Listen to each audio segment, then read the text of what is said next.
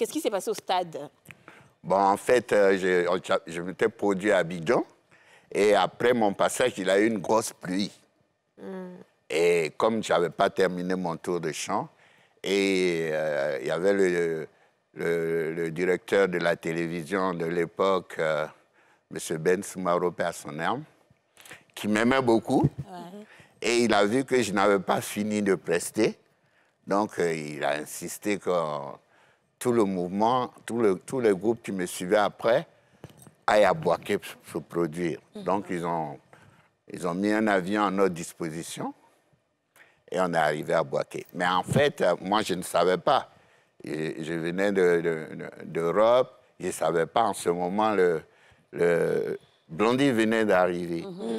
Donc, il était déjà là et les gens l'attendaient à Boaké. Ah ouais, bon. Donc, Alpha les, donc les gens ont pensé, quand, quand il a eu l'arrêt, les gens ont pensé que c'est lui qui devait arriver. Et on- ils voyaient un bonhomme qui arrive avec une musique qu'ils ils n'ont jamais entendue. Un rock Donc, pop. Wow. ils, sont, ils sont énervés. Ils attendaient. Donc, à du reggae. donc, eux, d'abord, d'abord, ils sont restés, ils me regardaient, je commençais, je sautais partout.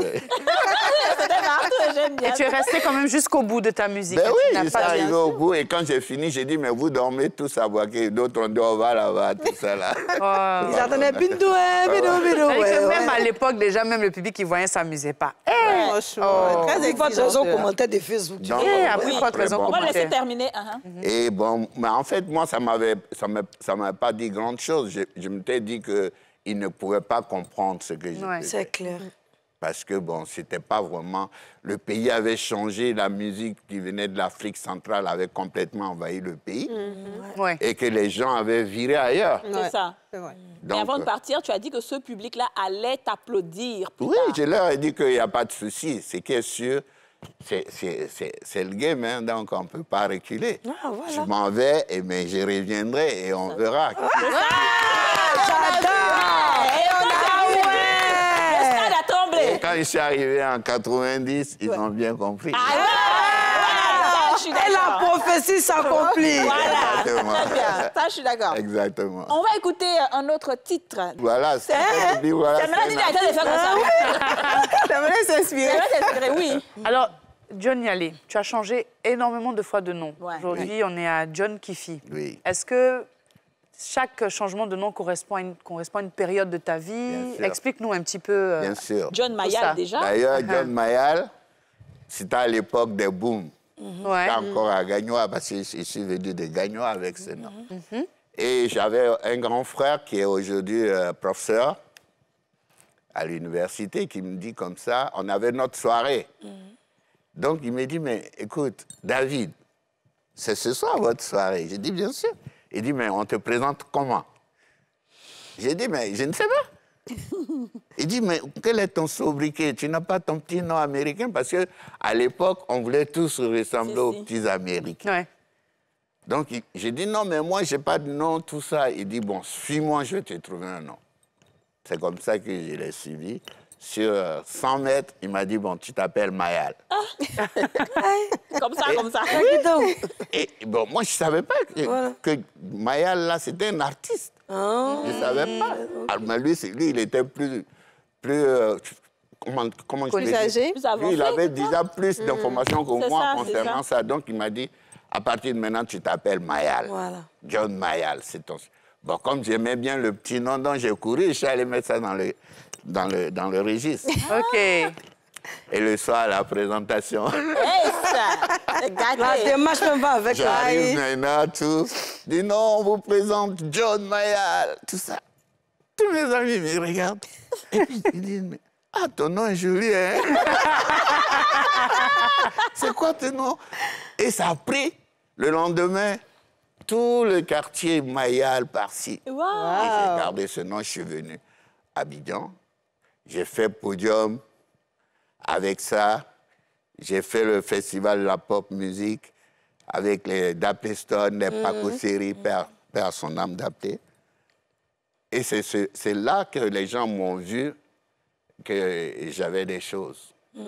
Parce qu'à ce festival-là, c'était vraiment l'une des plus grandes rencontres de jeunesse en Côte d'Ivoire. Mm. D'accord. Chaque euh, quartier avait présenté un orchestre. Il y avait l'orchestre, les Rolling Stones d'Agamé. Ah le-. Oui, Dans jamais. la belle époque, hein. Oui, il y avait les. Rolling Stones, il y avait le groupe de Nyamke Vietnam, père son âme aussi, à Marcory, Mais ma les MLSL, et puis des groupes qui venaient de Port-Boué, de Koumansi, qui venaient avec leurs fans en même temps. Donc Des l'endroit était super peuplé et il y avait la télévision qui était là. Ouais. Et c'est la première fois que je passais à la télé. Et ce jour-là, quand je suis arrivé, il a eu l'émeute. Ah Sérieux? Tu as tué c'est pas ça. C'est pas que ça dit que tu sais quand tu es prédisposé pour quelque Ouais, chose, ça c'est marche. c'est vrai. D'abord, il y avait les Rolling Stones d'Agamé qui était un grand groupe. Ouais. Et nous, mes amis, on les craignait. C'est clair. Ah, les Rolling Stones, ils vont nous damer. Et quand Nyamke est arrivé avec sa basse, Mm. il a tué. Donc les autres étaient là. Moi, j'étais en train de cogiter comment je vais faire pour sortir mon épingle du jeu. Tout ça, j'étais en train de... Et je je j'ai eu une idée. Comme c'était au bord de la lagune, j'ai dit, OK, dites au- à l'organisateur de, de donner un micro qui a un fil long pour que je sois au bord de la, de la lagune. waouh. et, et de là-bas, je commence à chanter. Respect. Non, ça. Ah, ouais. Ah Oui, ouais. c'est ça l'ingéniosité. Et, et là, quand le concert a commencé, c'était derrière. Moi, j'étais derrière là, le, le Oui, t'as bâtiment. impressionné le monde. Et là-bas, je chantais déjà. Et les gens, ils regardaient, ils ne voyaient qui? pas. Et les gens Donc, quand ils m'ont vu apparaître, star. Donc ça, c'était John Mayal. ça, c'était John Mayer. Ensuite. Avec ça, j'ai fait tous les orchestres ici, jusqu'à ce que j'ai fini chez Ernesto Guiguier en 82. Et je suis parti en Europe. Arrivé en Europe, je me promenais et je vois des affiches partout. John Mayall. Je dis, comment ça? Et en même temps, comme j'ai des amis qui sont dans les autres villes de France, qui m'appellent. Oui, mais John, on voit tes affiches partout. Ça, il dit, non, arrêtez vos trucs là. C'est pas moi. C'était le chanteur. John Mayal, voilà. J'ai dit, non, c'est pas moi. Ça, c'est c'est le vrai qui est là. Moi. Et il joue à l'Olympia. Qui me connaît? Les gens m'ont petit. Donc, et en rentrant chez moi, j'étais maintenant dans le, dans le train, tout malheureux parce que le, le petit sobriquet que Ouais. j'avais, maintenant je connais le propriétaire qui est mondialement connu. Franchement. Donc ça sert à rien. Ouais. Ouais. Donc j'étais assis, j'ai dit à John, toi vraiment, hein, tu n'as jamais de chance. Aujourd'hui encore, ton petit sobriquet, ça a trouvé un propriétaire. Tu as fait comment?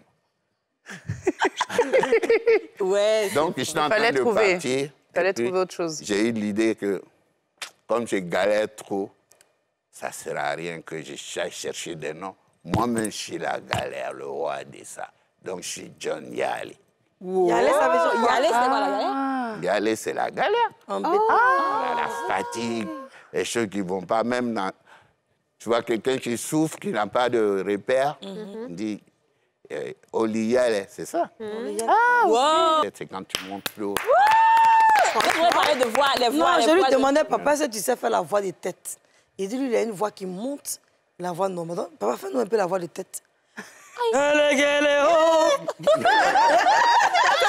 la voix de fond. La voix de fond. Déjà, elle a Elle, ça. c'est dans sa gorge, elle baisse des piles, voilà, ça, là, tu connais. Vieux, tape ici.